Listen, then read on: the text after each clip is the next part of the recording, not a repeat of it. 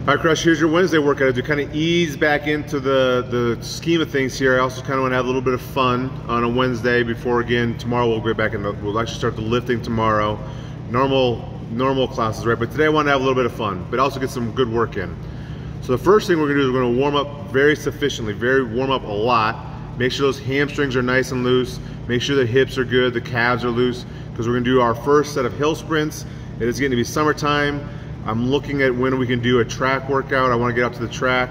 My schedule is really crazy with uh, baseball right now, um, but I'd like to start getting back to summertime stuff. I'd like to plan a day where we go down and do the mini incline. I'd like to plan a day where we go do the actual incline. I'd like to start planning some of that stuff, getting us outside.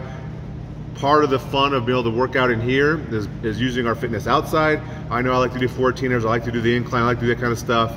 Um, stuff I probably could not have done or I would have had a very, very hard time doing before I found CrossFit. Um, so more of that on the horizon, but today we'll be doing hill sprints. So for those that haven't been here a while, I like to use the hill over here um, to sprint up. Um, it is a great workout.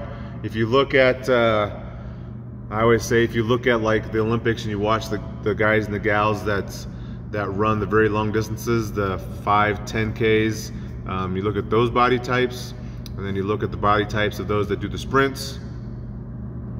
Uh, I know who I would rather look like. But anyway, sprinting. It's great. It's actually a good strength building exercise. It builds some speed, some quickness, and speed is part of power.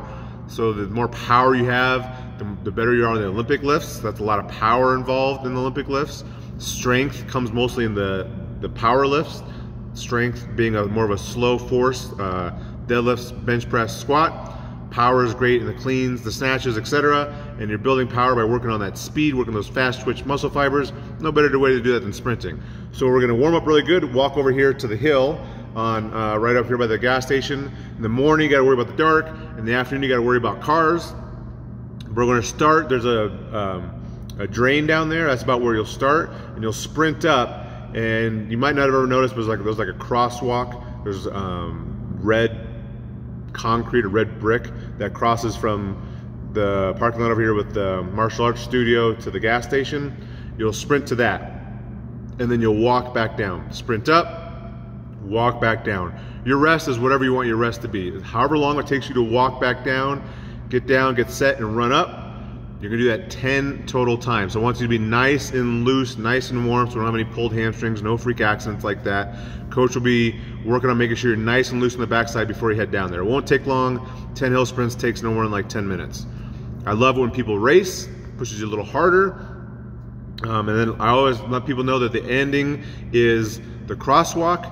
The ending isn't three feet in front of the crosswalk or five feet in front of the crosswalk. So you shouldn't pull that proverbial parachute until you cross the crosswalk. Give it that full effort, sprint up, walk down, chat up a little bit, sprint up, so on and so forth. And then we'll make a really quick transition to the back of the gym and in teams of three or four or five or whatever, again, the, point of this is to be kind of a fun day, um, we're gonna flip the tires. We're gonna get the tires out and flip them.